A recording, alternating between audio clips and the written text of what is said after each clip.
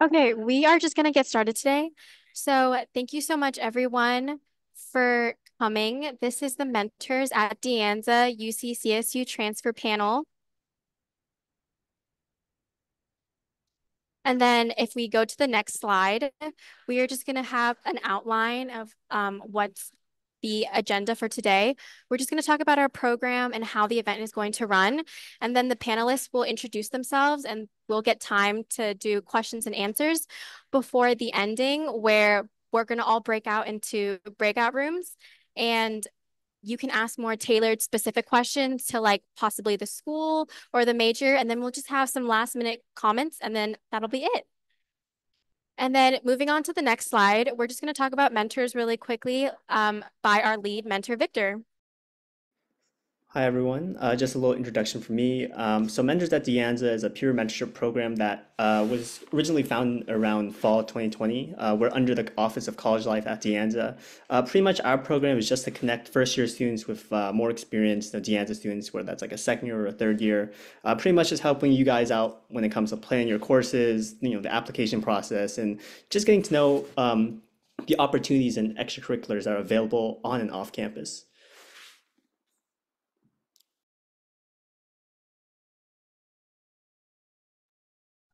And then for community guidelines, the way this is going to work is you can put any of the questions that you have into the chat. We'll have some moderators write them down, and then um, myself or Tracy, my vice chair, will ask the panelists the questions later. You can also private message them to any of us that have the mentor's background in the back. And then just to let everybody know, this Zoom will be recorded and we will publish this later on. And we should have captions on as well. But if anybody needs any help or anything, just um, message any of us and we'd be happy to help. So now moving on, if all of the panelists just want to share a little bit about themselves, like their name, major, year they transferred, any additional information and stuff like that.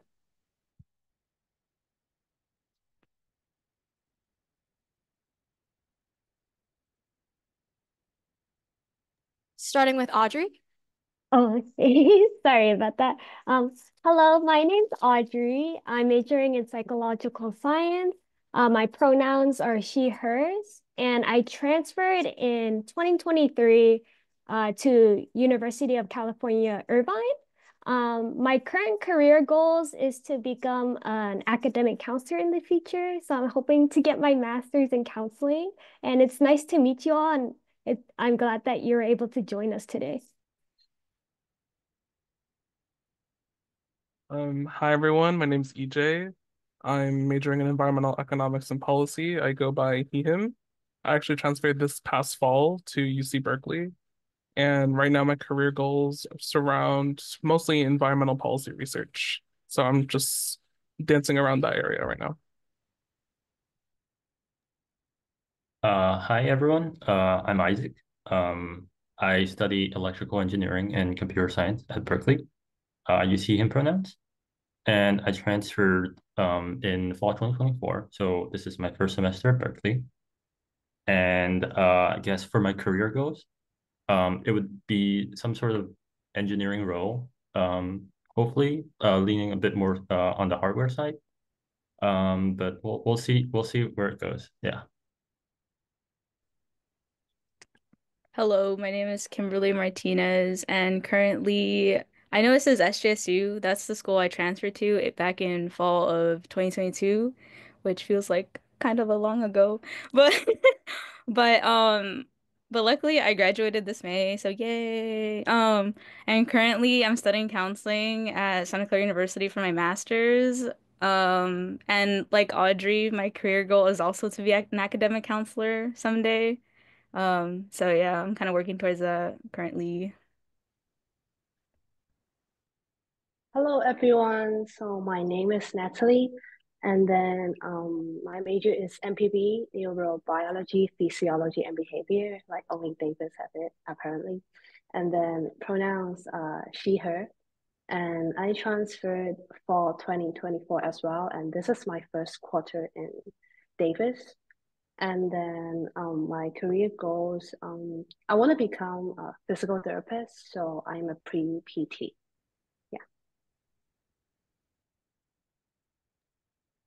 Hi everyone, my name is Reeya. I am majoring in business administration and my pronouns are she, her. I transferred to UC Berkeley this last fall, so this is my first semester here. And then my career goals are um, surrounded around corporate sustainability and business. Okay, Thank you thank to all. Oh. Sorry, go. Thank you to all our panelists who shared. That was great to hear about all of your majors and where you ended up going as a De Anza alumni. Now we'll be heading into our Q&A portion of our transfer panel. And just, just to start off, we'll start off with an easier question. And to all our panelists, how was your transition from a community college to a university like?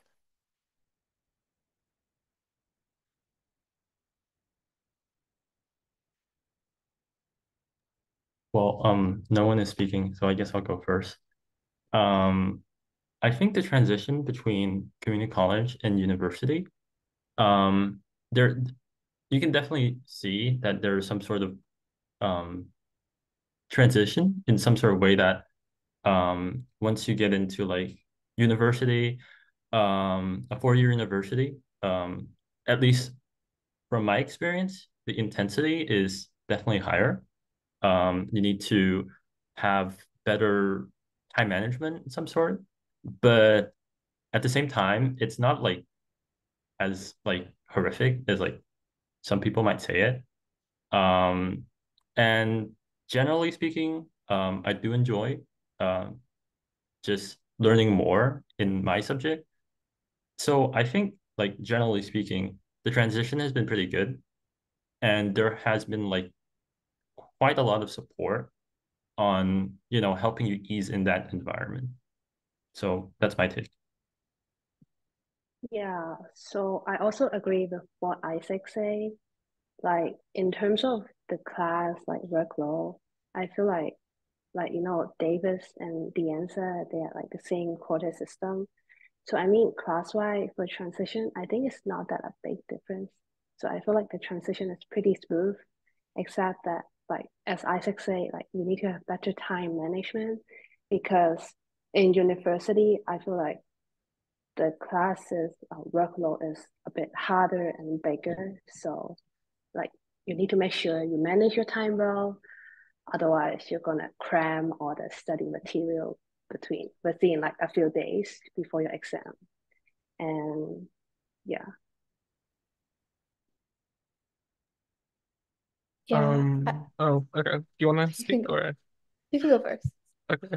Uh, for me personally, like, uh, we just had, like, I just had like my first set of midterms, uh, last week, and I do have to say, when it comes to the transition, since it's semester, we definitely spend more time on material, but then my study habits from De Anza to Berkeley definitely would not did not work. I had to switch everything up.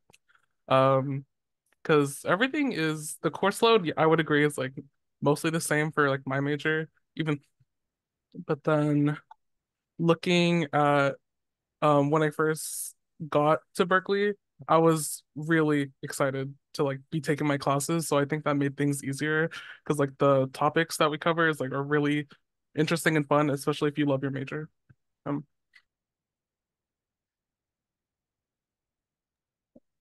Yeah, basically kind of just echoing what everyone else has said. Um, it's definitely like a bit of a culture shock when you first transfer in, just because the classes and the rigor is definitely different from what it was like at De Anza. You definitely have to have more of like a schedule and like be consistent on all of your like classwork and assignments. Otherwise, you will like fall behind a lot easier than than you were at De Anza. Um, but I think for me, it hasn't been like that bad just because unlike some of the other UCs, um, Berkeley is on a semester system, and coming from De Anza into a quarter system to semester system, I have found it to be like a little bit slower in like the pace of classes, which has definitely been like a little bit nicer to get to experience after like having a quarter system at De Anza. Um, but yeah, like everyone said, it is like a lot more like hard for the classes, but it just takes a little bit of adapting to within the first few weeks, which is why like a lot of people say to take like an easier co course load your first semester or quarter, which is definitely very helpful. I do agree with like what everyone said be uh previously. Um, for me, the transition I would say would be was kind of challenging because I did have to move quite like a distance away from where I lived. Um, I currently live in SoCal, uh, so that's like six hours away from my um uh where my, permanent address is. Um, I will say yes, you, it's a lot of relearning your study habits and uh, your time management skills because unlike De Anza, even though we're both like a quarter system, it's less weeks for you to uh, study and manage your classes. Here at like UCI, it's only 10 weeks per quarter. So it goes by very fast. So having like an effective time management, as everyone has said, uh, is very crucial. Yeah, I also I know this sounds very repetitive, but I do I do agree with everybody else. I think y'all give really good insight and I love hearing you guys' personal experiences. Um, to be honest, I think in my experiences of transitioning, because especially as a like a, a like coming from like mostly like online cl courses, right? And especially because this sounds this sounds like I'm old, but when I used to go to De Anza, I took like all online courses, right? So transitioning from like online to in court, like in person, it was a bit like it was a bit stressful because I was low key like, oh my God, who do I talk to? Um, so I think that was a little bit stressful for me. I guess that social aspect of like, how do I make friends or like um what clubs to join or stuff like that. Um, that was a bit of a a shock for me, I guess. Um, and then um, and then also like how you guys mentioned, going from a quarter system and SJSU is a semester system. I think I think I was kind of used to the quarter system, so it was a bit of like a shift because it's more slower and more like at pace, I guess. Um, but in some courses it does help me because I struggle a lot in math and for and for some reason, I don't know, I found the course system like very fast paced when it comes to math. And then the semester system, it, it kind of felt more like easier, I guess. I don't know. That's just that's just me though. Um, but yeah. Just a reminder, everybody, you can totally send in your questions in the chat or direct message any of us. But talking about the culture shock and how transferring was a lot different than De Anza, how was everybody's experience with class sizes? I will say it's it's way bigger. Like the class sizes at De Anza, I would say they're kind of like, oh, 20 to 30 students. So you have more time to interact with the professor. Um, at my university, some of the classes, since I'm in psychological sciences, there's a lot of people in my major. So it's around like you would have around like 200 to 300 students in like one lecture room. So it can be hard and maybe a little bit intimidating to try to talk to the professor, but I do highly encourage um, people to do so. Or like or like if you have questions just to go to office hours. Um, but yeah, the class size is definitely a bigger upgrade than what uh, De Anza has. Yeah, honestly, the classes are a lot bigger because my major's a lot a bit more niche, but like it's basically double the regular class size, so like 50, 60 students for me. And then like our lab or discussion periods for like maybe like 10 to 30 people, if anything. But then I, I do have like an American Cultures course, which is like required at Berkeley uh, for graduation. And those would have like, for me, I'm thinking environmental justice. There's like 200 people in there. And yeah, because a lot of people just need to get their requirement done. So Yeah, like everyone said, the classes are definitely a lot bigger, but I also think it depends on your major. Um, for me, for Haas, Haas is a lot smaller within the classes, which is something that I really liked and a reason why I want to attend. So we have typically like maybe like 50, 60 students in our classes, um, and you get to know a lot more people. But then um, outside of that, for example, from like my data science classes, one of my classes right now, we have 1,600 people in the class because it's only offered by one professor. So like you do have to take a lot more like initiative and time to reach out to your professor or talk to your GSIs if you need help or if you're like falling behind on anything because I feel like at De Anza there was a lot more focus on the students. It was a lot smaller, so like you could reach out to your professor really easily or if you're falling behind. But um here at like Berkeley, you kind of have to take that initiative yourself to like reach out um because of how big the class sizes are.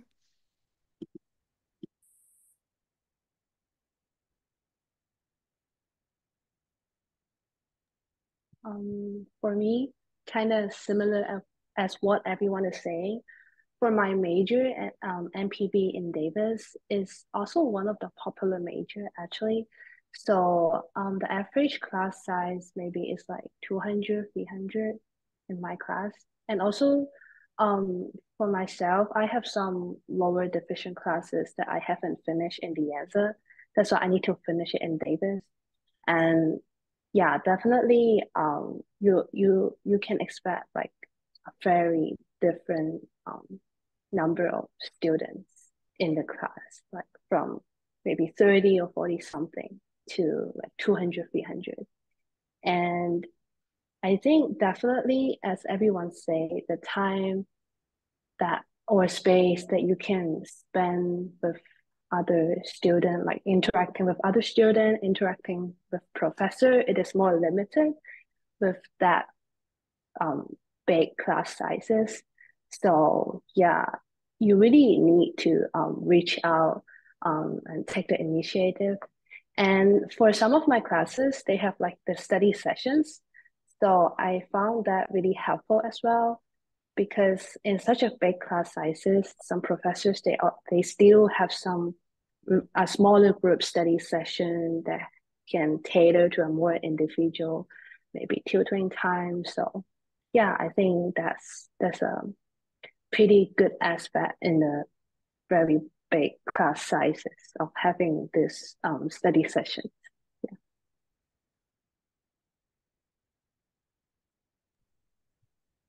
Um, okay. In my experience at SJSU, I'm not gonna lie, I'm gonna also say it kind of depends. Um, and I'm gonna say I think it depends on like like you know like those prereq courses you kind of need to take before you take everything else. I feel like those classes are the classes that are probably more, I guess, larger in students. But at SJSU, I never had like like over I never had like a bunch of classes that were over like 100 students or more than like at least like 50 students. I think I think most of my classes were pretty like not small. Well, they're not they weren't they weren't that small, but I think they were like okay to the point where you could know your professor a little bit more personally. But I wouldn't say like I had a bunch of courses where mm, like where like we had like 150 students or something. I think I've only had like two classes like that, like within those two years of being at SJSU. And I will say that is overwhelming because I think in one of my courses where we had a bunch of those students, I'm gonna kid you not, we did not have enough chairs for those students. So it was kind of like it was crazy. It was very crazy. But um but yeah.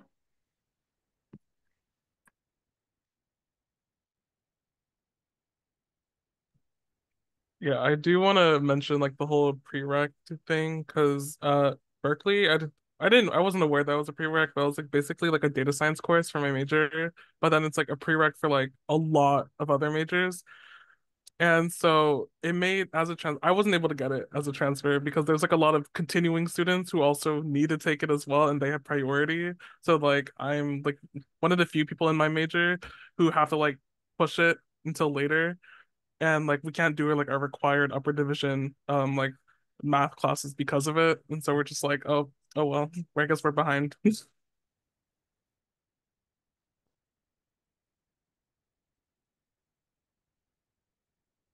Do any of our panelists have any more to add about this question?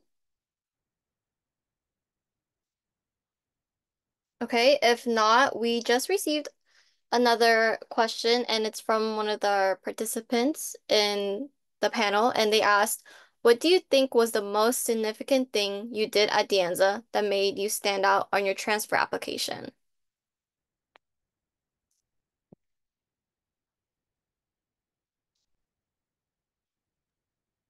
Um I guess at De Anza like the biggest thing I did like I don't like personally I don't see it as a really big thing but I guess when I look back on it, it was it was a pretty big thing. I was just a peer mentor for Impact api at and I I talked about it with like so much grace. Like I said, like when I was writing my PIQ, I said I loved working with the students and like getting to plan events and like hang out with them.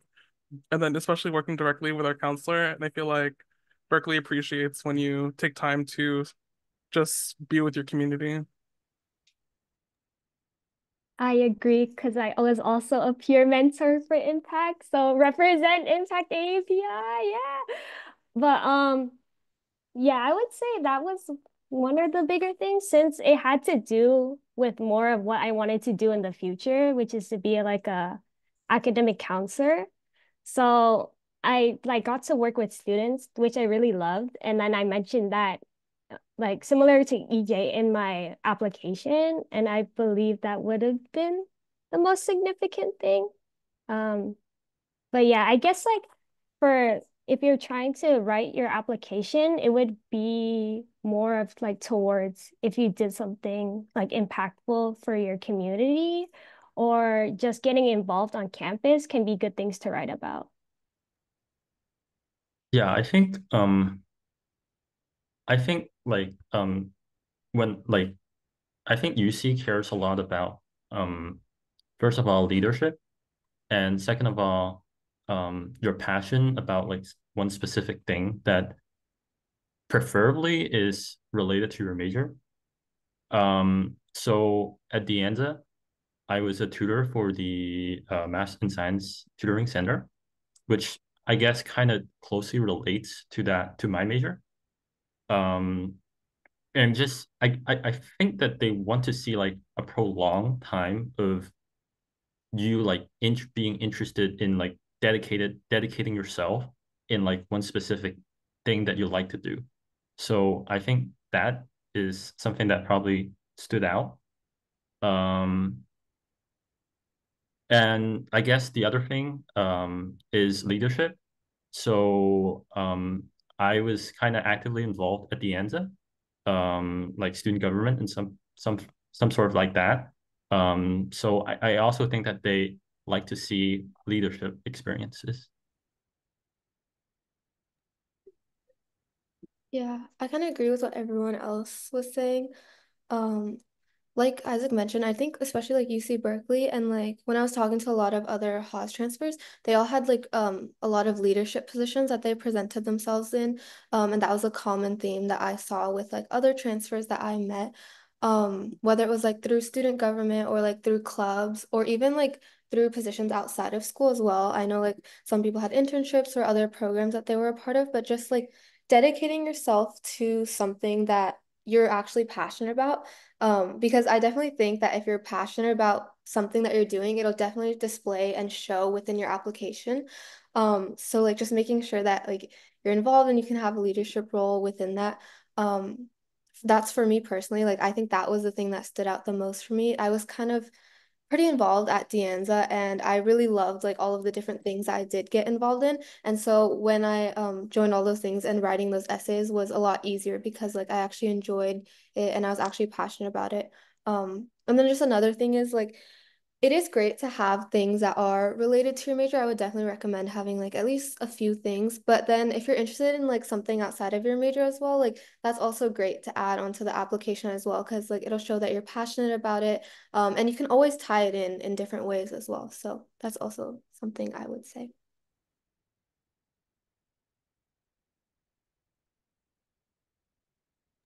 I guess like just I know that I, I'm speaking again, but um, something like I guess for if you're a bit more to the STEM side, um, if you can get a research, that would be that probably helps a lot.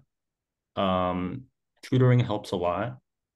Um, and even like projects that like you were passionate about, and you can talk about like how some project, even if it's like personal or whatsoever, how that like how what what you learned from it. I think um especially Berkeley, Berkeley really likes seeing that. So just to add on.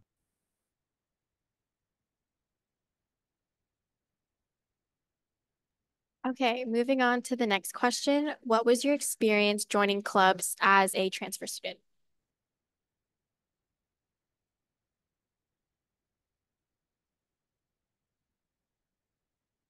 I can start. Um, so for joining clubs, uh, UCI has like this big event. I I think it's called, I want to say it's called Welcome UCI.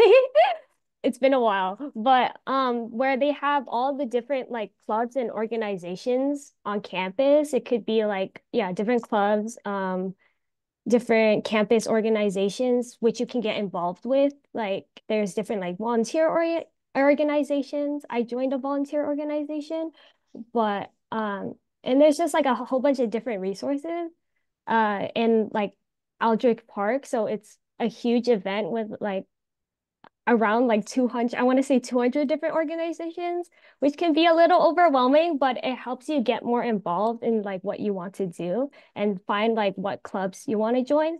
There's even like different social clubs and cultural clubs. Uh, if you're interested in that. And honestly, like for like my university, there's a lot of things that you can try to look into and opportunities for students to get involved. I think for me as a transfer student joining clubs, I found it actually harder actually. Like because you know you are third year right now in a university and but you are actually first year in Davis. But to be honest, people don't actually know that you are first year in Davis. They just thought that oh you're third year in Davis. And most most clubs that are recruiting like new members, they are usually looking for first year because like you know first year is what they are looking for like college life or something. And I feel like at this age, at our like year in college, maybe we are not as the as like welcome ish by by the club and um the club people. So I feel like, but yeah, don't don't let this discourage you. I feel like you need to be more like maybe active to seek the club that you want. And I feel like as a transfer, you also have a clearer goal of what clubs you want to join because you already have some exposure in De Anza, right? So at least you will have a clearer um, objective of what club you want to go in, and then you you will go there and join, uh, be an intern or get some leadership um, pos um, position at at any cost. So yeah, I feel like definitely um, actively seeking more of clubs. And in my in UC Davis, they have like an involvement fair thing. Um, I think it's in each every quarter, and an involvement fair is like similar with the club day in De Anza. They have like like 200 something clubs in the field and presenting themselves. And then I like it because um they have like a clear distinct clear categories of for every clubs. Like they they um categor cat categorize each clubs into like maybe um hobbies, careers, cultural thing. And yeah, it's really easy for people to like uh, walk in the involvement fair and then um, based on their interests and find their ways to, in the in the in the fair and yeah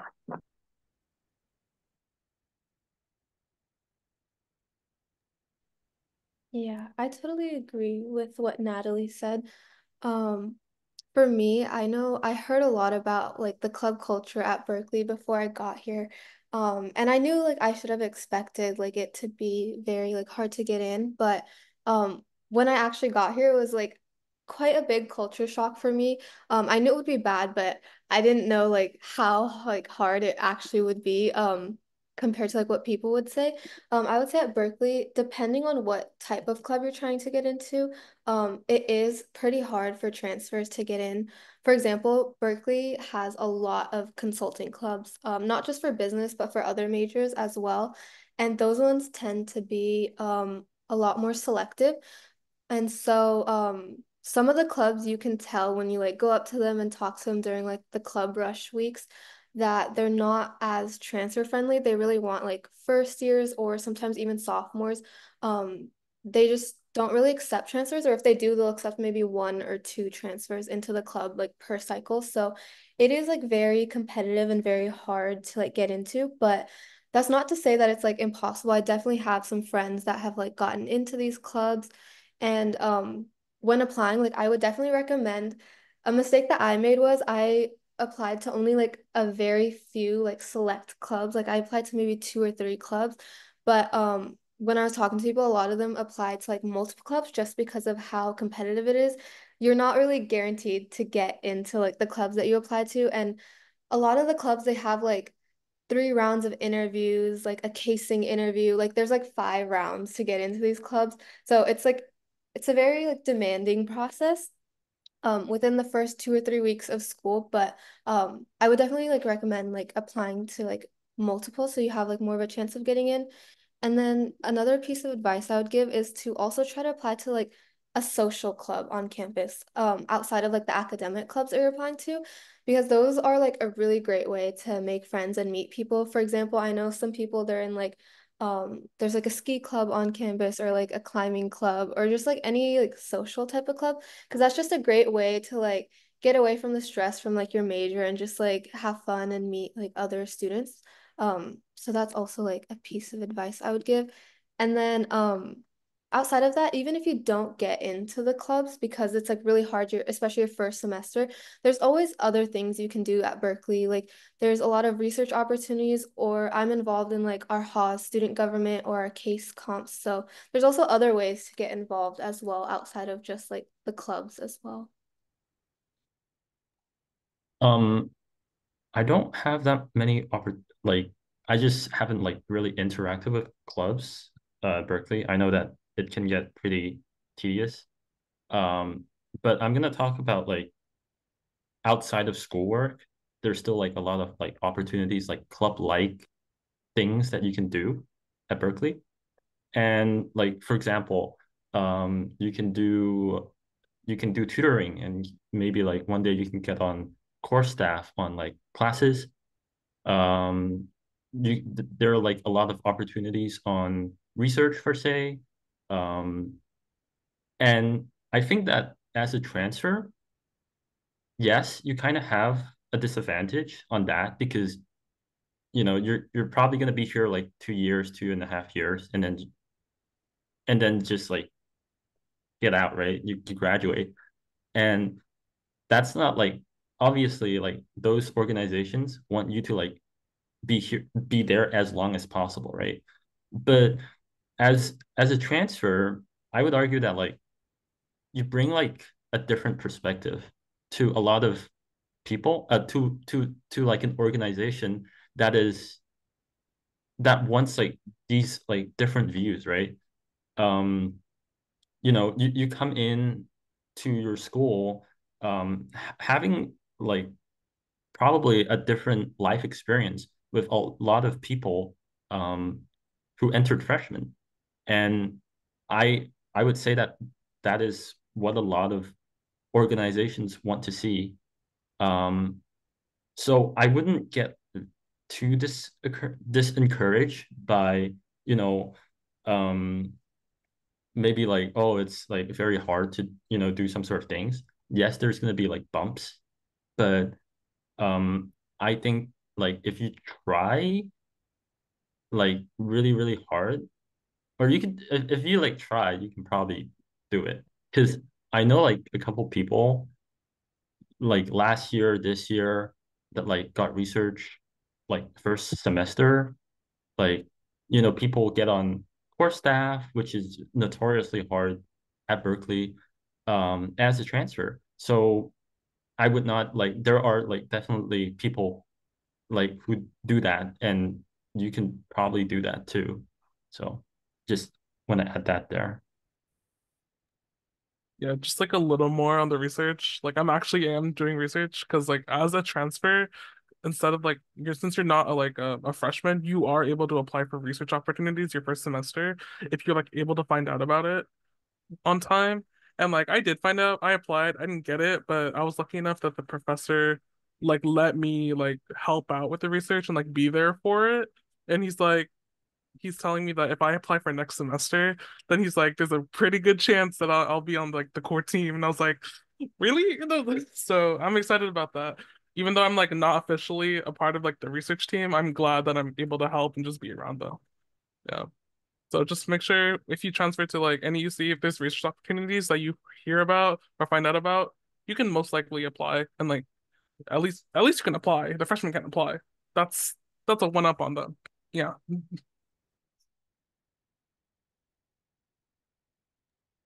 Okay, I'm gonna add a little bit about my perspective. Um, I mean, my experiences, like in in I guess SJSU.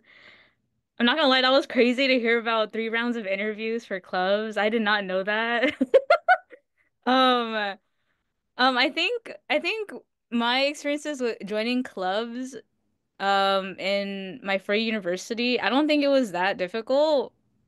Like, um, like in that way of three rounds of interviews, I don't think it was it was particularly that difficult. I think, um, I think it was pretty easy to join a club if you want if you really wanted to join a club.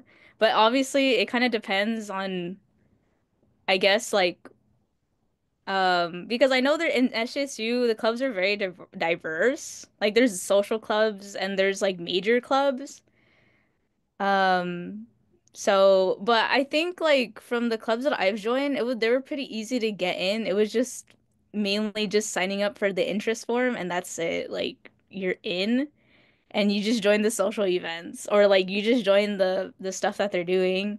Um, and also to add to research, I did research in my undergrad too. It was okay. I I kind of I kind of was that person that like I transferred in and I kind of didn't see that opportunity.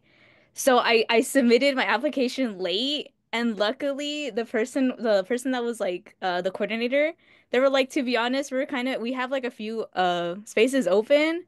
So you're lucky that like we kind of need more students. So I was like, "Oh my God, thank you." Um but yeah. Um but yeah.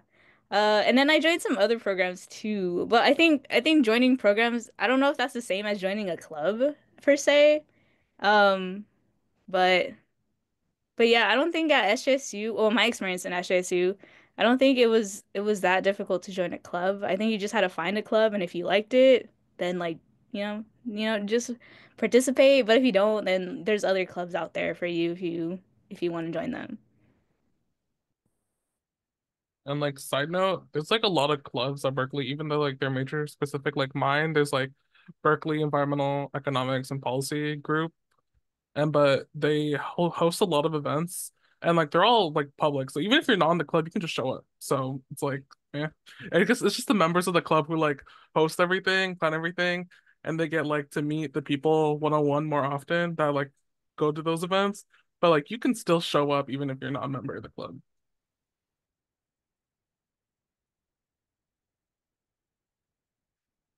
Thank you for all our panelists sharing their answers. And since you guys are all like, since we are on the topic of clubs and everything around surrounding that, the following um question for that is, how did your university help you integrate into the student body as a transfer student, such as with transfer events or just orientation in general?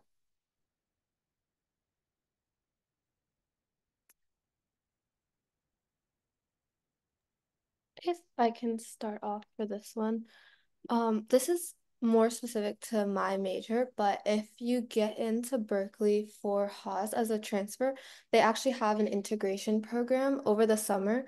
Um, so how it works is there's usually 100 um, transfers, and then they'll take around 50 transfers for this summer program. It's called um, Pre-Core for Haas. And so basically, you're going to be taking two courses, which is like quantitative and qualitative prep for business. And then throughout the six weeks in the summer, um, it'll just be like prepping you within those two areas for your upper division classes.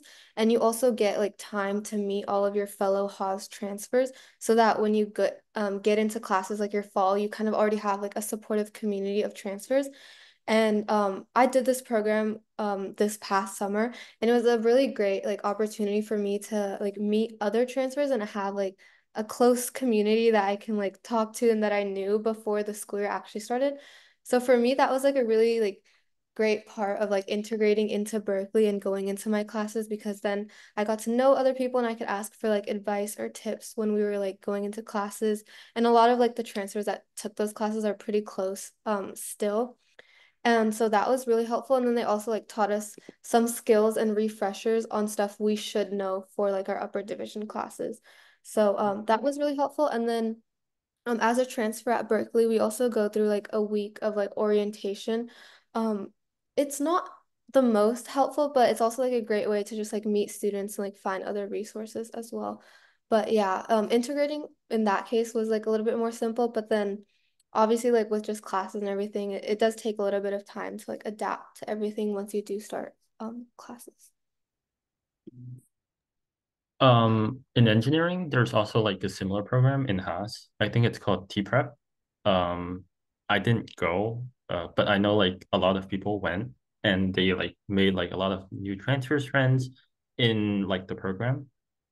Um, in engineering, there's also like specific like transfer senders for that, and they like help you with like advising and what and so forth and so forth. So I think like the support up to transfers is like pretty good. Um, I know that we have like a new like resident building like majority for transfers. So if you're living there, it's like very very easy to like meet new transfers and just like form like some community with tr other transfer students. Um, so that's about that for support. Um, for orientation, I didn't go, so I, I don't know. I, I can't answer you on that. Um, yeah, so I did agree that I forgot what it's called, like GBO, Golden Bear Orientation. It was mostly like a for fun thing, just to like introduce you to the campus, meet other people. But if I had the choice, I think the last day was like the only useful day because that was like all the departmental stuff where you actually had to like meet your college and like all the professors in there and they're the advisors within your college. Um, yeah, so like the Natural Resource College, which um my college at Berkeley, they host like a lot of events like pretty consistently. Like every two weeks they're having something, studying together. And like if you are struggling to like make friends, like I don't really have that many friends, but like my friends are in my classes. I'm not lonely or anything. It's fine. But they there's a lot of events. They definitely care and like your advisors, I think they're harder to reach because it's like Berkeley. Like if you want to like the more general advisors, they're like a little more difficult. But like for my college, they're almost always available. They try to make themselves available because it's a smaller school and they they'll def help with their your transfer process and they're always there ready to like help you with anything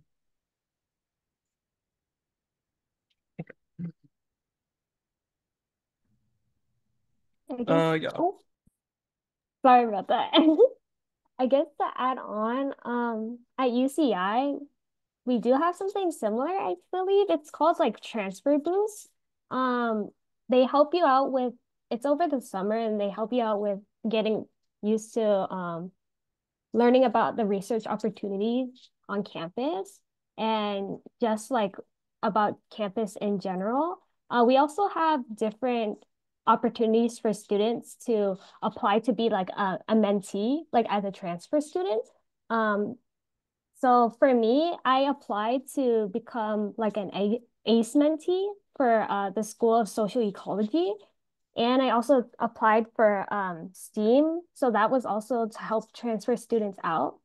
Uh, so I feel like UCI has a lot of opportunities for transfer students uh, to get more um, involved and uh, help out with their transition to uh, a four-year institution. We also have um, a transfer center which hosts like different events for transfer students and they allow you to like pop by anytime to get like maybe some snacks and stuff.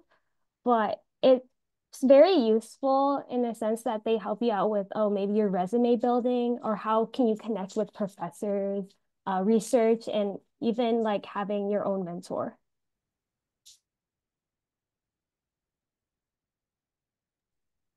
Okay. Um, in my experience, I'm gonna be honest, this was like this was like two years ago for me. So so like if I forget some details, like bear with me, okay? I'm gonna be honest. I think my orientation, my transfer orientation at SJSU, I'm gonna be honest, it was a bit chaotic because um because like I remember that they did check you in, they give you like a little like a little goodie bag and stuff, like the SJSU. And then um and then at that there was like a like a kind of like a little period where you could look at like um this like street or like it's called 7th Street, but um where you basically just like you see the tables and all the clubs and programs and stuff that they have, which was pretty cool. Um, but it was a bit overwhelming as a transfer student. I was like, oh my God, there's so much stuff, and do I have enough time to look at everything?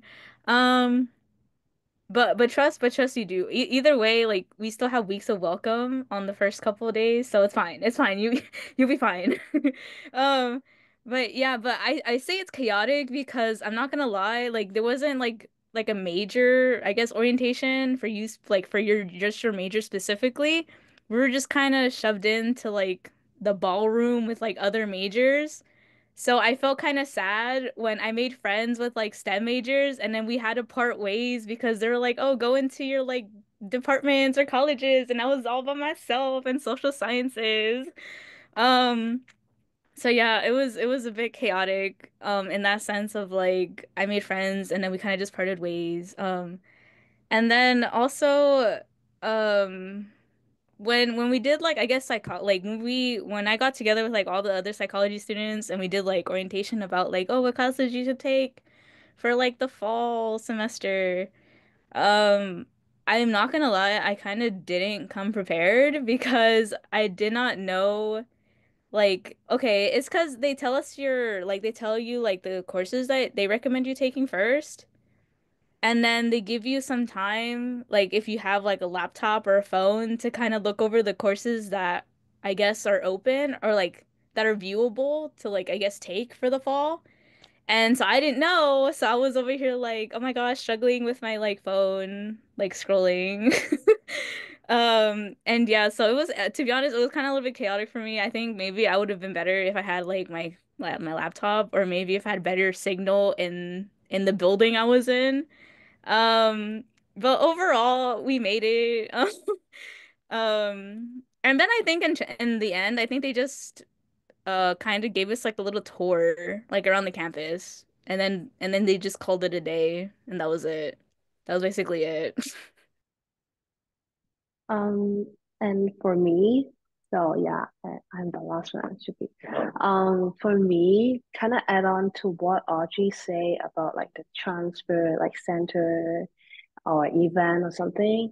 Um, for my major NPB, like uh, yeah, NPB, um, we belong to the College of Biological Science in UC Davis, and for pe- for people who are in in the College of Biological Science major, we we are recommended by our counselor to enroll to register for a class called like directed group study during this quarter, the fall quarter, our first quarter in Davis. So in that class, it is mostly where you can meet like many transfer biological science major. And then I also have a lot of friends I met in the transfer orientation that that is also taking the same same um, directed group study class with me in that class. And then for that class, um, I think it's a very good way to learn more about the campus resources. It's sort of like um, like integrating yourself into um, like knowing more about the campus resources and I know this week um, we learned about oh how to get more involved in research because you know research is pretty important in biological biological science, right? So we learn more about resources, time management, and something. And I definitely think um, they did a good job in having this class and like, like sort of a space that we can find a transfer community and then also get more insight of um, how to get more fit in in the campus. Also, um, I feel like because I'm now living like sort of on campus, I live in like a transfer housing, and I feel like this also helps because you're having an environment with like other transfer students in the same place, and then you can also build a really close uh, relationship with them, and yeah, and you kind of just feel more belong and more integrated as well. Thank you so much for talking about your experiences. And now moving on, what is your experience networking with current students slash alumni as a transfer and what opportunities have been given to you?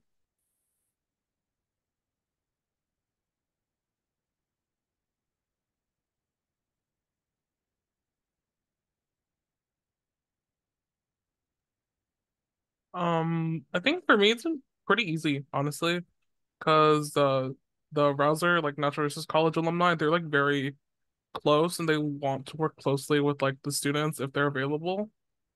Um, because a lot of them do offer like um uh part-time work positions if like you qualify and they encourage us to apply like they like to show up to alumni events and like actually like reach out to students like they look at our resumes they're like you I want you I'm just like okay so they're like really fun and nice in that way and then when it comes to students I think everyone within Rausser kind of just wants to work with each other because we even if we're not in the same major like there's a lot of overlap in like our classes um so yeah, it's it's really not that bad if you're in like a smaller college. I I don't know. I don't know what I'd say for like the like larger colleges like letters letters and science. Yeah.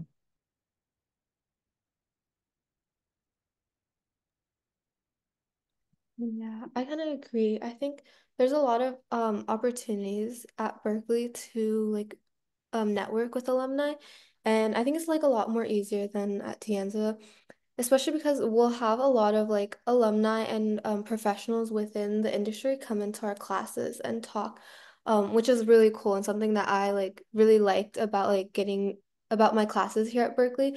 So like for example, like two weeks ago in my sustainability class, we had like the CSO of Starbucks come in to talk to us. And in like our accounting class, like we'll have we've had like four or five different like professionals within like the big accounting firms come in and talk to us.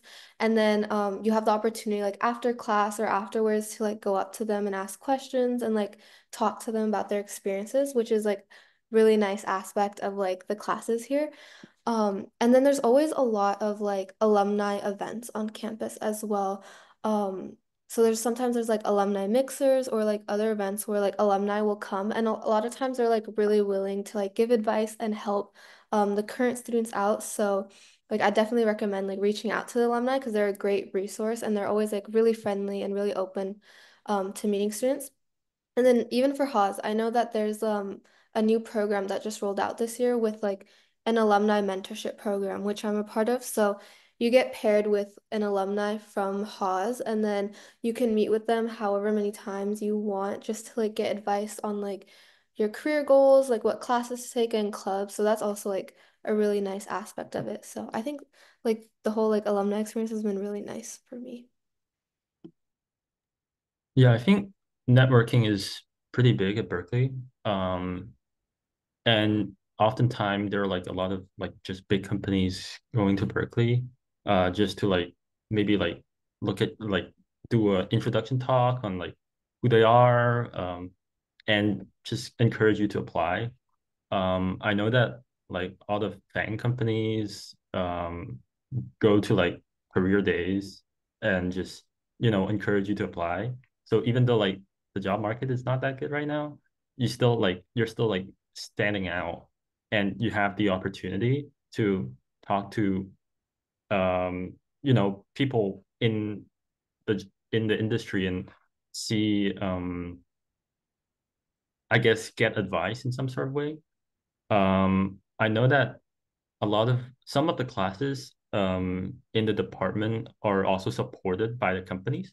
So you get like pretty much like one to one um help from engineers. Uh, for example, Apple, um, who helps like you to like oh, go through like what your design is when you're implementing like some some sort of things.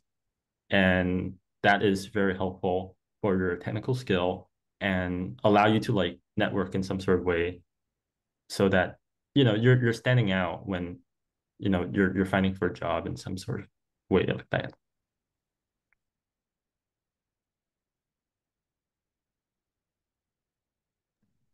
Okay, I'm gonna I'm gonna just go next. Um, I'm gonna be honest. Uh, in my experience, I've never got to network with an SJSU alumni per se. I think at SJSU, I think it's a bit difficult because I know there is the like alumni association at SJSU, but like I don't there really isn't I guess any opportunities for alumni and I guess current students to interact with each other or I at least I don't I don't know about. Um, but current students, I feel like that's kind it's a little bit more easier to kind of network with current students because I feel like like um especially if they're around like your major because I feel like everyone's just trying to help each other like just graduate and succeed. And it's a little bit more easy it's a little bit more I guess accessible to kind of network with the current students that are already there. Um especially when you ask questions about like oh like what do you think about this class? or which I guess which class should I take first or, or stuff like that or like job stuff? Like let's say like I know LinkedIn like they have certain jobs like you can see on their profile and if you're interested in them then you could like probably ask about it um or ask for just advice. Um and also SJSU I know SJSU lot provides a lot of like like I guess like uh career stuff that you could get networking. Like for example they provide like the job the job shadow program which depending on what you're interested in like career wise they could set you up with like someone from that career field that you just shadow for a day. And if it goes well like you got their LinkedIn or like you know you connect with them a little bit. Um and yeah and and they have like other stuff too but um but yeah that's that's currently what I know personally. Um but yeah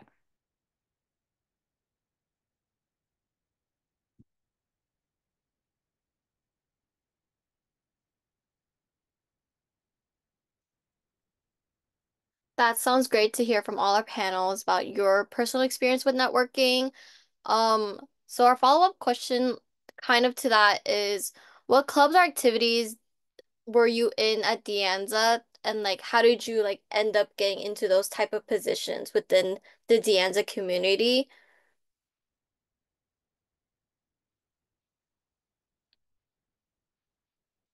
And actually, oh, turns out this question is actually morely tailored to um Isaac, but anyone else is free to answer is can be free to answer as well.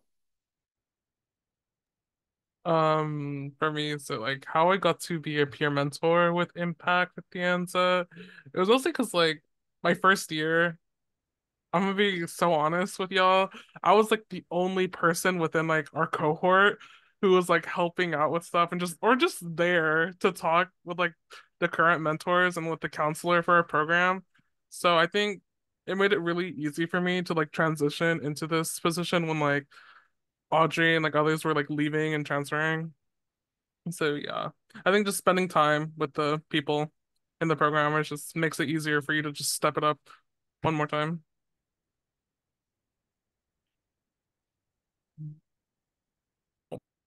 Well, I, I guess I'll go next. Um, so two main things that I did at De Anza is I did tutoring, and I was the vice president of student government there. Um, I guess we, like how I did it was just that like I was involved in student government before being like before like going to like try to become the vice president. Um, so I I like I guess an advice would be like just be like dedicated and like if you're interested in doing like that position or like that field, um, do that. Um, and same for tutoring. Um, I kind of like help people and there was an interview process, but if you like show that like you know what you are doing, then you you, you have like a pretty good chance of like doing that.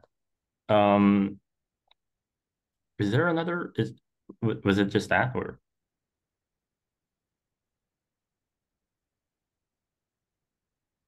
Tracy, hello? Um, yeah, it was basically mainly just that, and I guess how to like maintain your GPA while you're doing all those activities. Okay. Um, maintaining GPA wise, um, just I mean, I um I would say I just emphasize that like GPA is probably like the most important thing uh when you transfer. I think like regardless of what like college you go to, like GPA is definitely like the first thing that they look at, right? Um advice wise, um just stay on top of your work and just like be sure that like you're like on pace on like what you should be doing, right? Um, I guess another like advice would be like if you know like the professor is like really hard, right? Like I know like De Anza physics is known to be very hard, especially with like um Francis. Um maybe like look into like RM RMP and like just be sure that like you're you can like manage the workload in that specific quarter if you know that you're taking like extra hard classes. So that's that advice, I guess. Yeah. Honestly, like my tip for just maintaining your GPA at De Anza, even if you're like doing all these things, like for me, I was just a peer mentor, but I had a lot of like at home work um outside of school, things I had to take care of, like a lot of outside responsibilities. I think my biggest tip would just be like knowing your limits and like having a balanced schedule. If you like, if you have um the opportunity, like the privilege of having a balanced schedule. So like I would for my major, it's like interdisciplinary. So I would have like one social science class, then like an actual like physical science or life science or but like I would never have like two physical sciences at the same time. But like that's just because like I have the privilege of doing that with my major. But I know for like other STEM majors, you're gonna have to like double up, triple up on that. So it it gets hard. Um, I also want to add on to the question because I see like if how can you reach a high position? Um, I am not sure about whether you are, you want to do um the clubs or activity because like for college application or something. I mean, most people do clubs or activity because of like college app, right? But I just want to emphasize that like you don't do something just for the sake of doing it. Just make sure that you are you really want to do it. You really know why you are doing that club or activity, not just for college app. Because that could be like it's not from your genuine it's not from your genuine desire. Maybe you you want to do it because of college app, but I feel like the um the college admission office they they can tell if you are doing it it like they can tell if that desire is from yourself or you are just doing to impress them so yeah i just like a like a suggestion or emphasize is that oh you just you you you you really want to know um what do you want to get from it from the club or activity I, I feel like if you really enjoy or are passionate about that thing, you can naturally um, reach a higher position. And yeah, that's my kind of advice.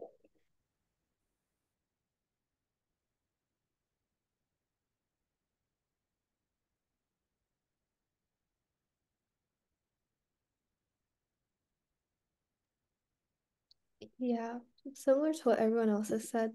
Um, as far as like GPA wise, like um I agree with what like Isaac said where um maintaining your GPA is like very important for transferring.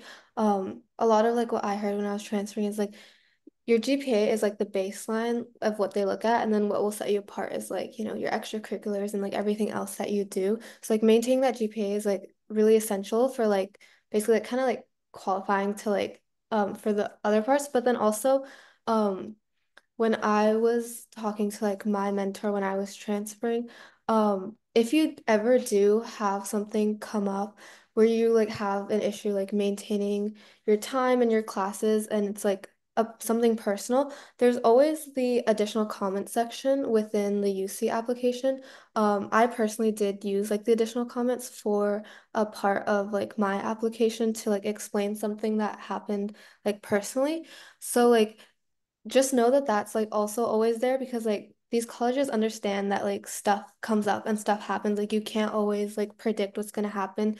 Um, so like if you need to like write something in the additional comments for like explaining why something happened, um, I would definitely recommend like doing that and like adding that in there. Um, for your GPA. But yeah, just like as far as like managing your time and everything, just making sure that you know like what you're getting yourself into. So like if you're taking a very heavy like class workload, um, it might be a lot more difficult to like get involved in like more extracurriculars if you have like a lot of like units going on in that class. So just making sure you know what you can handle so you don't overdo it and like burn yourself out in the end. That can also like really impact your grades.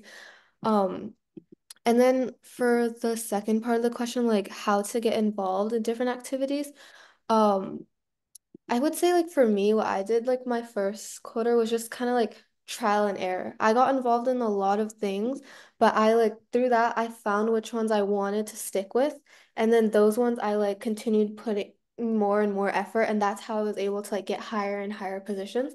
But um, it was just through a process of like trying different clubs and different organizations and like finding which ones I was really actually passionate about and I actually enjoyed, and then those ones would be like the ones that I like um, stuck around with and I would try like harder and then try to move up.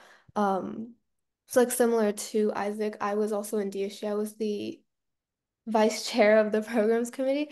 And then um, in mentors, I was also like the um, the senior mentor of programs. And then I also did like some clubs regarding like my major. So um, it was just like kind of figuring out which ones I got I was really interested in and I did those.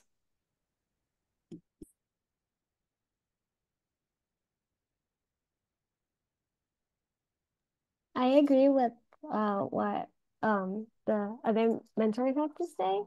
Uh, especially with like finding something that you're passionate in and what interests you It's uh, very crucial when you're trying to join like different clubs and activities on campus because I feel like uh, when um, the other members or the officers see that you're putting in the effort into their club or organization, um, you're more likely to um, be able to apply for those higher positions just because they see like the amount of effort you're putting into it.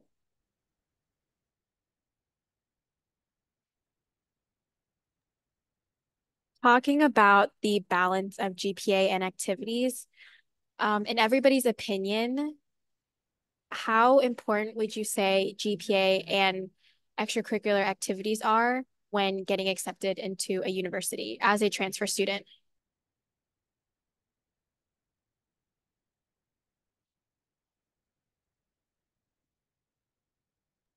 For Um, for oh sorry. uh, oh, You that's can go first, Okay.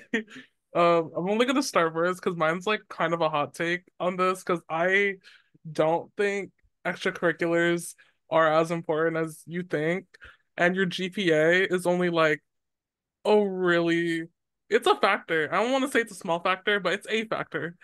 Um, because for me, my GPA was like wobbly, but like I was able to maintain it like decently high for like I of course I did my own research. I applied to Berkeley. I looked like, oh, what was like the minimum GPA like of my acceptance? That type of thing. Because I was stressed. But I think it's a a lot of depending on what school you go to, like just aligning yourself with like the mission of the campus and like and just really having a really good understanding of like yourself and your values goes a long way. And if you're able to like communicate that through your PIQs, then like you'll have an even better chance of getting in. Of course, like you can't have like a really bad GPA. That's just like they're not gonna go through with that. But yeah, I don't I wouldn't stress too much about extracurriculars or your GPA. It's like as long as you're doing decently well, then they'll look at other factors.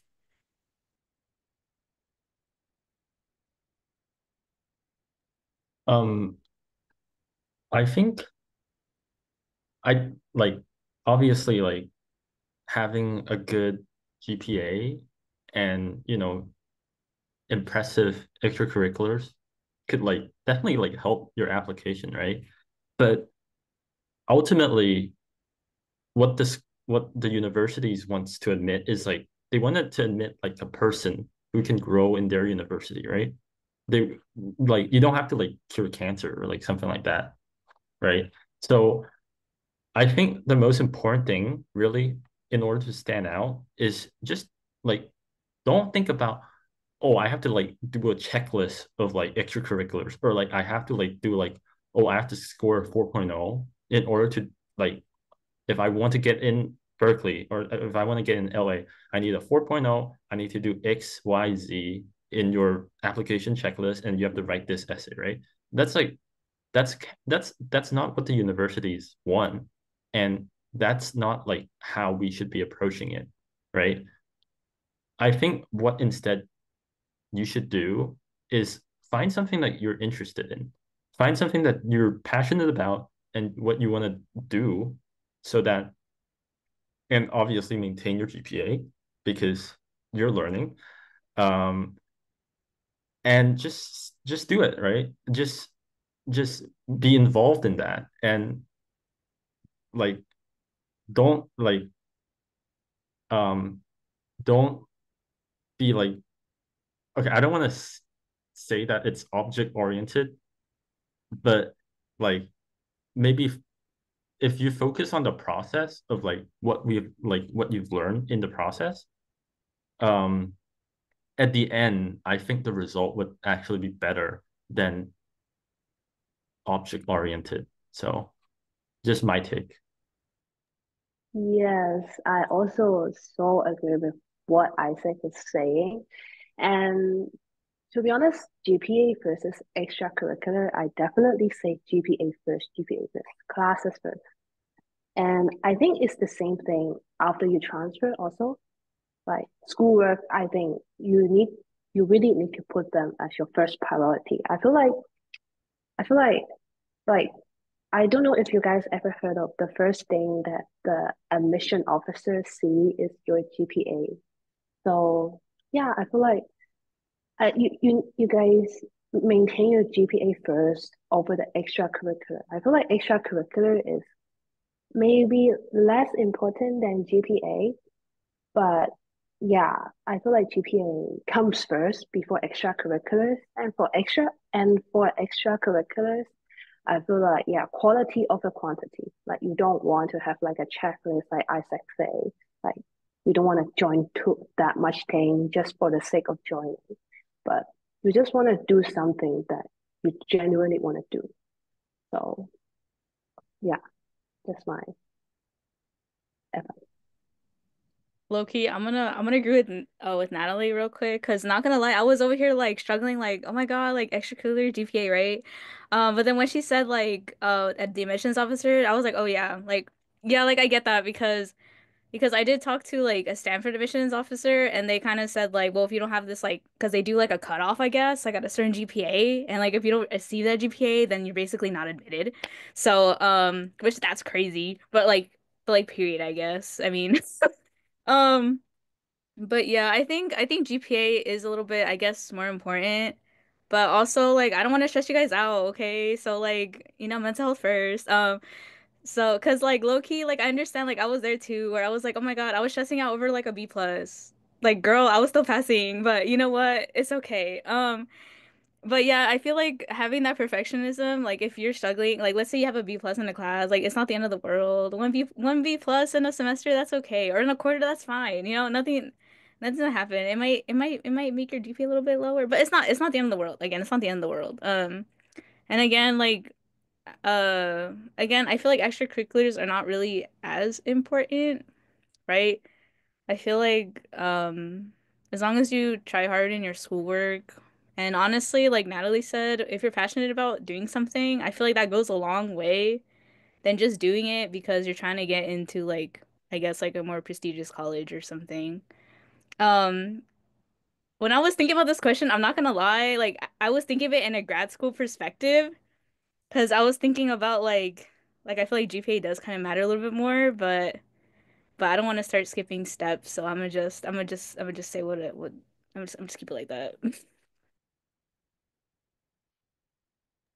I agree a lot with what Natalie and like Kimberly had said about like how um finding something that you're passionate in. Like, of course, you can have, I really like the point that Natalie brought up with like quality over quantity. Like, of course, you could have like 10 different things that you're involved with, but having something to write down and not just say like uh, on your like PIQs, maybe say like, oh, I am a leader. Like expand on what that means. Like, what does leadership mean to you? How were you involved in that position that taught you like how to become a leader and stuff? Like having a specific example and not just like saying that, oh, I did this without elaborating it, on it. And I will say like with GPA, um, there is like a cutoff. It depends on what school you go to. Uh, generally, each school has like a specific, like a different GPA requirement. I know like some schools they're like 3.4, but then other schools, like more competitive schools, maybe like biology will be like, uh, we're going to cut it off at like 3.6 or something. So it is like crucial that you do maintain like at least like around that range or like even better is like above that range. But um with GPA, if you do have like a, or like if you do really show that you're passionate in like your essays about like being in that career path or like um trying to show like what you offer to the school, uh, I feel like that would help you more even if you have like a, a lower end, a GPA on the lower end.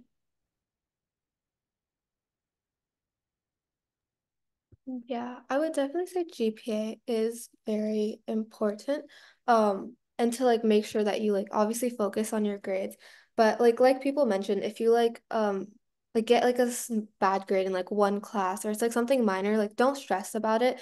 Um, I think what colleges really cares about like consistency over like your two years. So if it's just like one time, like you have a W or you just get like a small bad grade, that's like totally fine. Just like make sure it's not an overall theme that they can like see reoccurring like like every single quarter. That's usually when it might like be a red flag. Um, and like um like everyone mentioned, that some schools do have a cutoff, and I think it's very dependent on the school you're applying to and also the major you're in. Because I know certain majors they have a higher like GPA average that they cut off at. So um like just depending on that, like um your GPA requirements will be different, but I would definitely say like prioritize your GPA and then um if you can like do get involved in extracurriculars. Um I know everyone said this, but I really liked what Natalie said where it was like quality over quantity. Everyone said that. But um I think sometimes if you're involved in too many things, it can actually hurt your application in some aspects because you're just spreading yourself out too thin and you can't really have a great enough impact on the things that you're involved in if you're doing too much. So like for example, for me, I like left out a few things in my application just because like I didn't think they were relevant enough or I didn't think I had enough of like an impact to write about it. So I just like left them out of my application. Um so just like make sure you don't overdo it when you're like doing extracurriculars. Um because I do know some people that like tried to do every single thing possible that they could and then in the end ended up hurting them in like their application process. So um just make sure like maintaining your GPA and then like um making sure what you're involved in like you actually enjoy it and you're having an impact and can actually like talk about it in your application.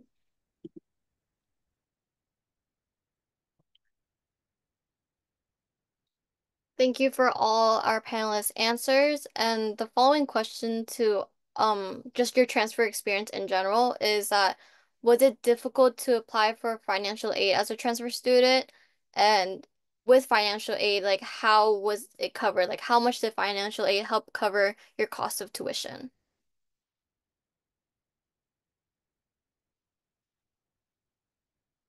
I want to say for me, because I think we, uh, for those who like transferred recently, like this past or like this fall, I think like the the whole, I mean, even everyone who did FAFSA, we we know it was a struggle to get FAFSA done because I don't know what they were doing, but I think um after I got my financial aid application in, it was yeah, this year was you know, but I think after I got it through, uh, my personal experience at Berkeley, that my financial aid was able to cover my entire tuition, and so like it was it was a very small margin. I think there's like I think it's crazy that like I'm just six dollars over my tuition amount. So like everything's covered. And like I just have six dollars extra, which is like good. At least I don't have to worry about anything. They gave me they sent me a check for six dollars. Um but other than that, I think if you have any like financial aid problems at Berkeley, they're really on top of it. Because when I was applying for um CalFresh or like SNAP EBT EBT, yeah, they like got on that. They like I called them and I was I was telling them how I was having like trouble with it, and they literally like called the whoever was in charge and they got me my CalFresh because like I couldn't afford groceries and they were like they were instantly like I had trouble with Medicaid like Berkeley called them and they were like here's my info and then I got that. And I was like, they're really on top of it, which I was very surprised. Like within like an hour, everything was covered. I was like, okay, thank you. So if you need help financial aid, like your school, mostly like they'll they'll really be on top of it. I heard Irvine had like issues though this year, so I don't know. Like I can speak on that. Uh, I will say Unfortunately, UCI's financial aid department isn't the most responsive. Um, from my perspective, as like a low income student, it can be very stressful, especially with like the wait times. I think the longest wait time I've been on like the phone call for financial aid is like two hours. So it's very hard to like get a representative. And uh, but now they're doing walk-ins, so you can walk in and um, have your financial aid questions answered. Um, for me, I did also apply to like different scholarships, which really helped um, basically cover my cost of tuition here. And that could also be a really big factor in I know deciding to what university to go to, like which university might give you like the most financial aid to cover your costs, because each university is different even though we have to do like the same FAFSA application, um, some institutions will give you more aid. Like for us, we have something called the UCI grants. Um, different universities may give different grants uh, depending on your, it's not EFC anymore, it's SIA index. So depending on what what number you get on that index will basically tell the university how much aid you will be receiving but it's different in terms of like if you get Cal Grant, that's like a whole different story, but it it will be different depending on what school you go to.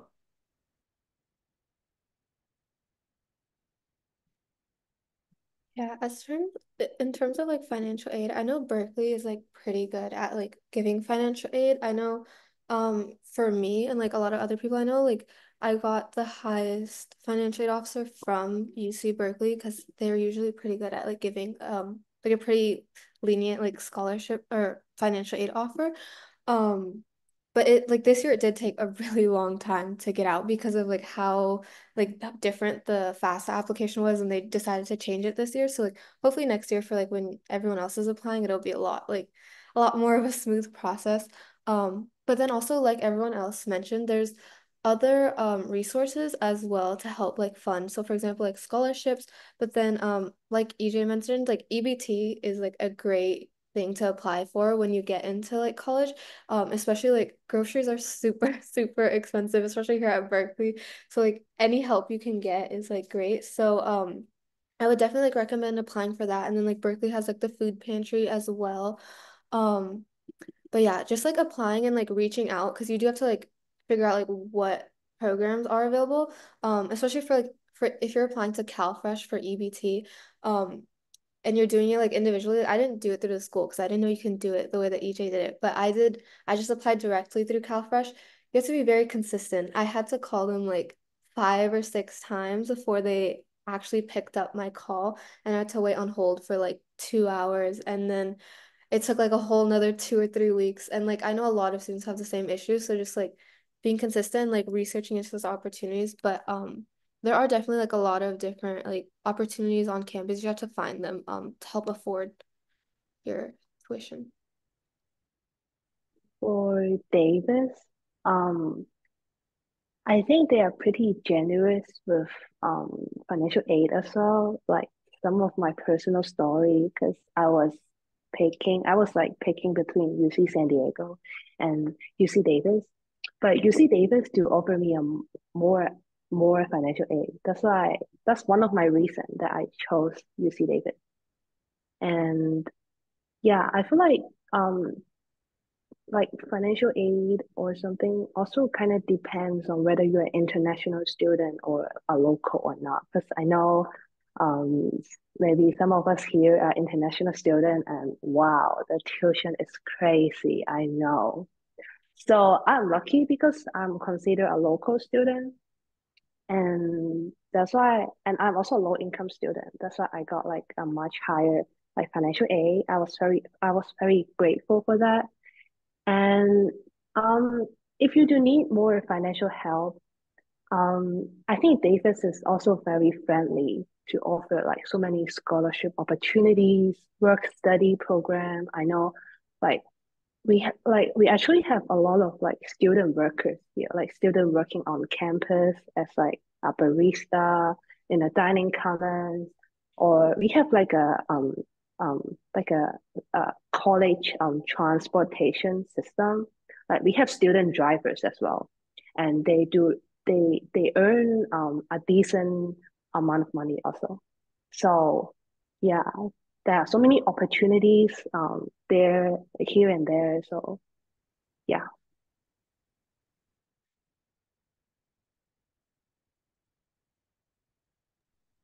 Sounds great. And then on a lighter note, how was your experience making friends and where did you find that you were able to connect with people and make your closest friends?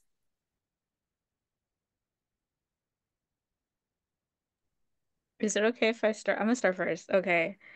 Um, okay, the way I made friends was by classes. Like I think I think that was it. Like we had the same classes and then we usually had like group work and we had to talk to each other. So, um, that's basically how I made friends. Um, sometimes we would have like the same couple of other classes too. So like that's kind of how I met like my current best friend. Like like when I transferred, I literally had no friends at SJSU. I was like I was like, "Oh my God, spooked." Um, and then we had this one class together in the morning, and then we had like this three hour gap from like to our next class. And then I didn't know, I didn't know until like two weeks later, until I I saw her like sitting by herself, and I was like, "Oh my God, I know you're my class." I was like, I was, and then I asked her if she had um this other class because I saw her there too, and then she said yeah, and we just clicked, and then we had sushi in that three hour gap that we had. So yeah, I think I think I think for me it was just making friends was just in classes. So if you have a class with somebody, you know, strike up a little conversation. I don't know.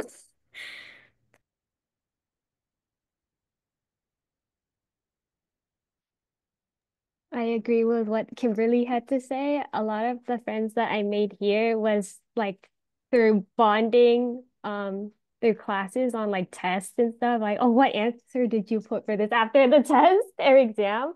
Um, but I would say, yeah, our, in classes, even though like for my major, our class size is usually really big, um, just talking to like the people next to you you never know if they're gonna be your your newest like friend that you make. Um, and I would say like in, in college, um, from what I've heard though, is that usually your college friends that you make are the ones you have for life. So I do highly encourage you to get involved with like different organizations as well, um, because you can also make friends that way through like social clubs, um, to see like if you click and stuff. But yeah, I feel like for me, I was nervous about making friends as well, like in a university, since it's such a big campus. But once you find someone that matches like your vibe, yeah, um, it can be easier to transition.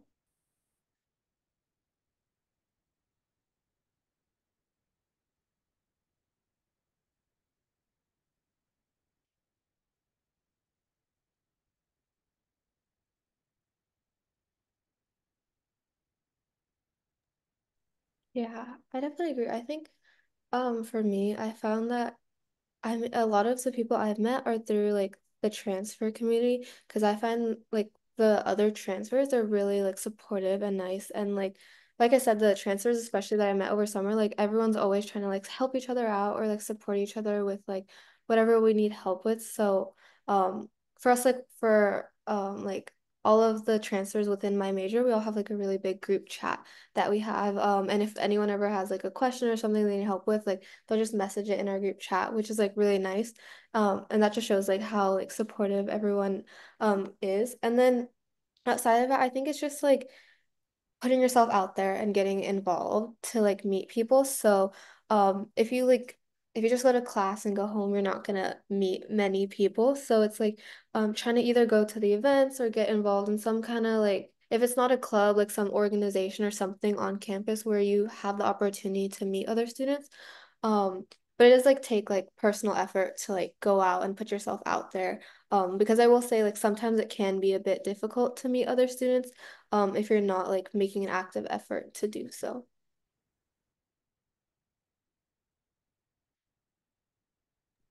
Um, I think for me, I mostly make friends by like joining clubs and um also um yeah, joining clubs. And also I'm a Christian. That's why um I join like Christian fellowship and they're usually very welcoming.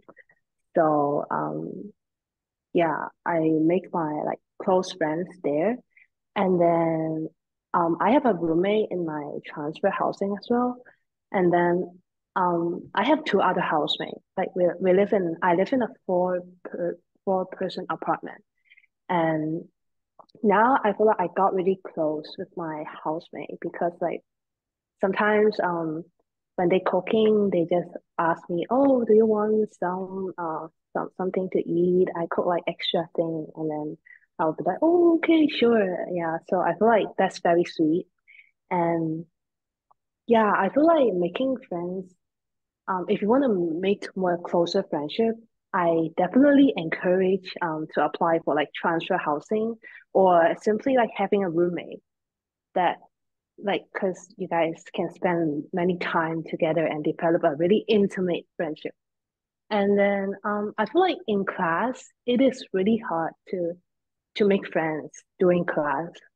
I feel like because like first of all the big class size and then it's always just like hi bye friends.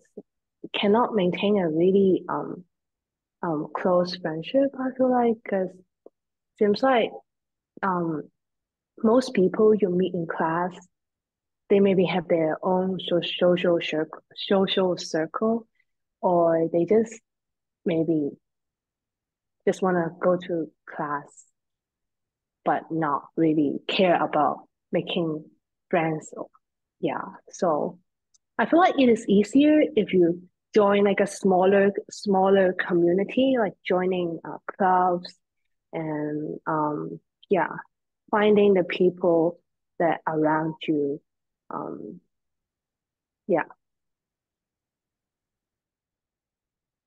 I think like um the easier ways to like meet new friends is um definitely clubs um like doing like just maybe going to like a social club and like oh we're gonna go um you know play a sport or something. Um that really like helps with like bonding with other people right? Um and i would argue that like classes also really help um like especially if you're like all transferring together.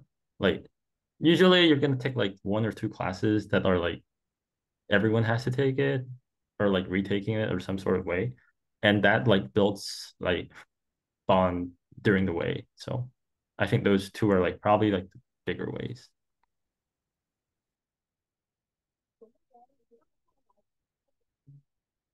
That all sounds great about like how to build like a better community at your universities or colleges.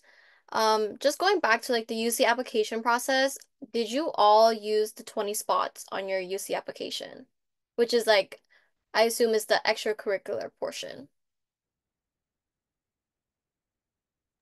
Uh, I'll go first. Um, I did not, and I don't think um a lot of people that I knew did either. I don't think anyone did actually. Um, it doesn't really matter whether do you fill it out or not. Again, it's really like when they look, right? They're not gonna look, oh, because you filled 20 spots. So we're gonna let you go into the university. Um, it really what matters a lot more is the experience and what you've learned from those things. Yeah, I think like the UCs definitely value a lot of like time commitment and like they only really care about like after high school. And for most people, that's just like two or three years. And you're not gonna have 20 spots to right in there. I think I used like three. And yeah, uh, no, they're not looking for 20. Yeah, I definitely agree. I don't think I know I don't think I know anyone that use all 20 of their um spots. I'm trying to look at how many I used. But um this kind of goes back to what I said earlier. I think you have if you have too much, um it'll like it might not look as good. Like it might you might be spreading yourself out too thin. Um, I remember when I was talking to someone who had already transferred when I was applying, they told me like to not use like all 20. If I used all 20, like it would it would hurt my application. Um, so for me, I think I used 13 of the spots, but then five of those were like awards I won through competition, so those weren't really like extracurriculars. Um, so just making sure you only like include what like like the extracurriculars that you're like passionate about and you had an impact in um is really important. So yeah, just I don't think I know anyone that used 20 spots.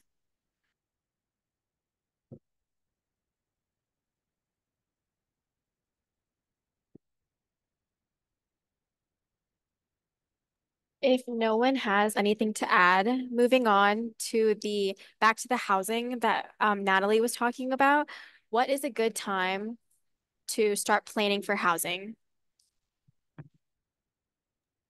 Um, for me, actually, I don't, I didn't specifically look into housing like until maybe three months before the decision is out. Because when I applied, I was not really thinking anything about the housing. I have like zero idea about that. And yeah, I think it's not too late to think about housing until maybe the decision is out because you still got like maybe a month or two months to think about um, whether you want to do on campus or, or off campus housing. And um,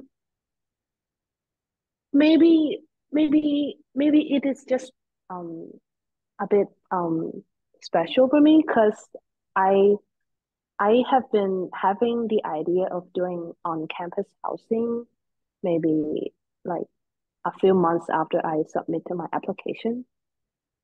And I know that for like on campus housing, it's like guaranteed, right? So you don't have like you don't need to like do a house hunting stuff. But I feel like maybe it will be a different situation for off-campus housing because you you're gonna need to like do house hunting. And I know like like in Berkeley or like some other schools, they have like a very competitive um house hunting process. And you go, you really need to start early to um look for some good deals for the apartment. So yeah, I'm gonna let other people talk about this. So, but for on-campus housing, I feel like you don't need to stress about that that much if you are really determined to go to on campus because it's like guaranteed for um UC Davis, and I feel like for other other UC as well. So yeah. I can speak for the off-campus housing, um, or just housing in general at Berkeley is is really bad. Um, I know like schools have like other UCs have like guaranteed housing. Um, but I know Berkeley just had their like transfer housing added, but you're not like guaranteed to get in. Um, and even if you, I know a lot of people that apply to like on campus housing, they get offers that they just really do not like, and so they have to look off campus. Um, I didn't apply to on campus. I just directly started looking for off campus just because I knew I wouldn't be able to afford to live in the on campus housing here at Berkeley. Um, and I would definitely say like after you know like where you want to go, especially for Berkeley, to start like looking for housing right then because it's really, really hard to find housing here at Berkeley. I know a lot of the continuing students, they start looking in like January, February, like the year before they're trying to get in, and our decisions don't come out, I think, until like March or April. So we are already like a little bit behind all of the continuing students in looking for housing on campus. And then um like when you get your decision, you have to figure out like what roommates, because you won't get like matched with any roommates like you do when you get on campus housing. So like reaching out to people to figure out like who you want to room with first, and then just going on like tours of different housings. I think it took me like two or three months of like searching before we found our place. Um, and it's just really expensive. So if you're looking like within a budget, you have to like do a lot of searching before you find something that you really like because um I think it depends on like what everyone wants because if you want something like closer to campus, cheaper, it's like a bit harder to find. So you just have to do a lot of research and like searching in, but it is doable. I would just make sure like once you know where you're going and you know that you want to do off-campus housing to start like looking into it as soon as possible.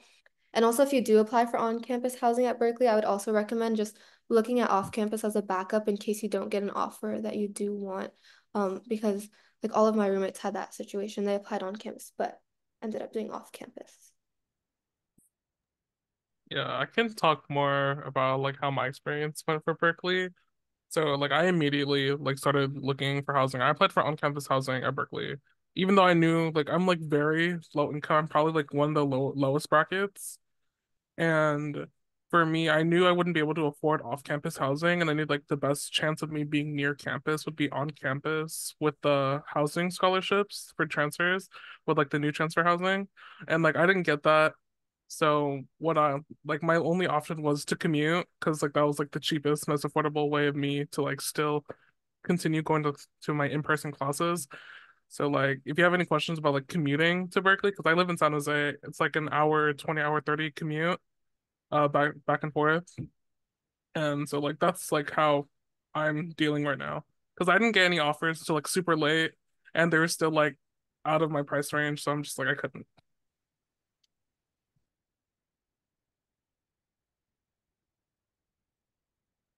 I Okay. s- oh, Oh, I was good, sorry.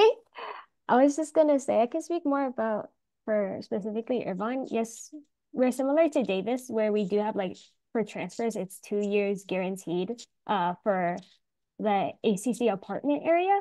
So for the ACC apartments, um that's where like mostly juniors and seniors live. Um, we're not allowed to live like right on campus because that's where um usually freshmen and sophomores are um housing there.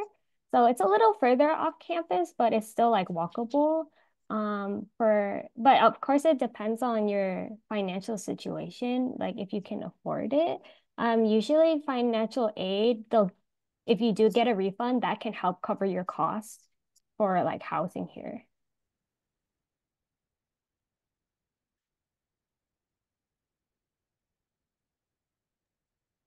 For our last and final question, just a takeaway and advice for all of the students in the panel.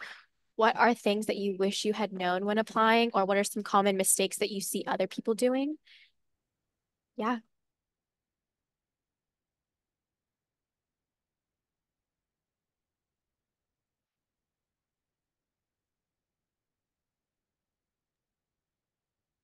Guess I could start something I wish I had done differently and that I always um tell like people doing the application process. So if any of you are like second years um working on the UC applications is to like get started early.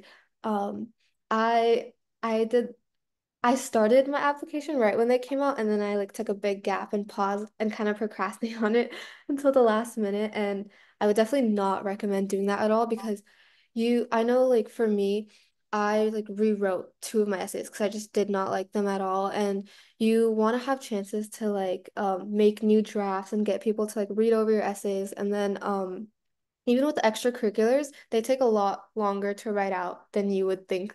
Um, because there's like a word limit, and I didn't think that the extracurriculars would take me as long as they did to write out. Um, so just like for that, like um, if anyone's like doing the application process or if you're gonna start it next year, try to start like as early as possible because you're gonna want to make changes. You're gonna want to have people read over it, and it's just really, really stressful if you try to cram it into the last minute.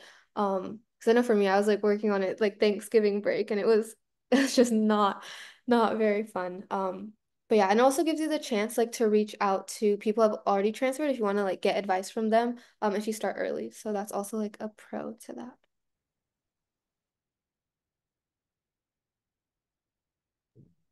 Um, I think my piece of advice would just be like researching the different programs like pretty thoroughly because there's a lot of info you can find out about the school and specifically your programs and like what you're interested in before like actually deciding on which school you want to go to or at least after which because like there's a lot more details when it comes to like how a program might align with your academic and career goals and I think just understanding the resources and like courses involved with that program will make your journey overall just a lot easier and a lot more comfortable for you. Yeah. I agree with what um y'all have said before. I like especially with EJ, like with research, like researching into what you want to do because I don't know if this is the same for other universities, but once you transfer here specifically to Irvine, you can't switch majors. So, or it's like very, also very hard to switch majors. Um, so just finding something that you like are passionate in and like want to do or in researching the different um programs that they offer at the campus can be like very important because you, you will be kind of like you may be like stuck here for like two years and you're already having to like graduate with the degree that you're already um applying for. Um, I would also just recommend like if you are like applying to any like EUC or CSU to just go for it. Like even if you feel like, oh, my app isn't that good or it's not as good as like I feel like other people would write, I would say just go for it and just submit something um to like any like UC that you're feeling like you want to go to because you never know if you're gonna get in. And if if anything, you can say like, oh, at least I tried to to uh, get into this school.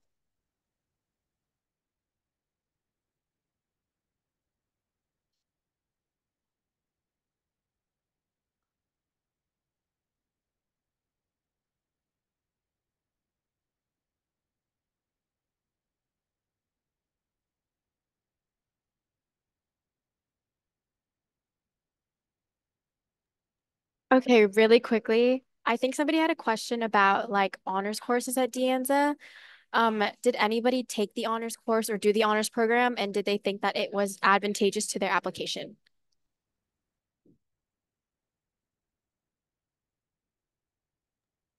I wrote this in the chat. Um, but I applied to the honors program at De Anza and I took two honors classes, micro and macro econ. But I know you have to take five to six classes to finish like the certificate, and the classes I wanted were never offered, so I never finished the program. But um, in my opinion, I don't think the De Anza honors program like adds much weight to applications at all. Um, it might like just add like a little bit of a boost, like, oh, you were like like going above just a little bit, but um, I don't think it's like a like a very determining factor. But I know like maybe some of the other panelists like took classes in Foothills Honors. I've heard like really great things about um their honors program, especially because they have TAP, um, which is like a program connected to UCLA. So um, I don't know if any of the other panelists want to talk on that.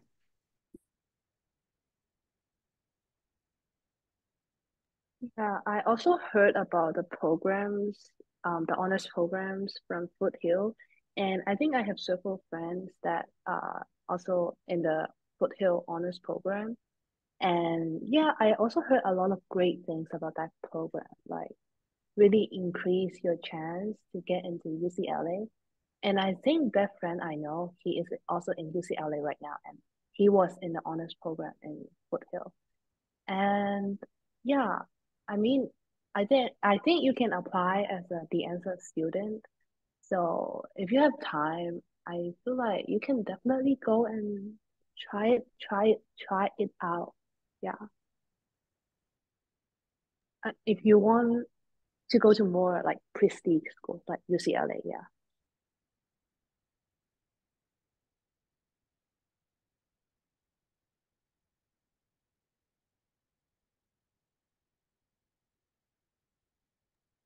If nobody has anything else to add to the conversation or like last minute tips, we are just going to move on to the panelist contacts. So all of our panelists have graciously offered to provide their contact information if you want to reach out and ask about like questions or things that you're thinking of after the panel. Um, and that's it below. But that's all we had today. Thank you so much to our wonderful panelists from all different places of California and our students for coming to this transfer panel. It is recorded and it will be posted later on.